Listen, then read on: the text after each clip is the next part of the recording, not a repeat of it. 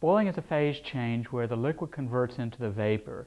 Here we have an example of T-butyl alcohol. As we heat the T-butanol, the kinetic energy of the molecules in the liquid increases.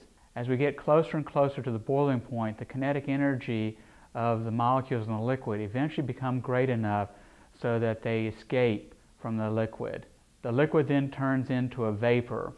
Eventually, as we heat the substance, the temperature continues to, go, to increase until we reach the boiling point for the T-butanol, at which point the temperature will remain constant as long as there's any liquid T-butanol present.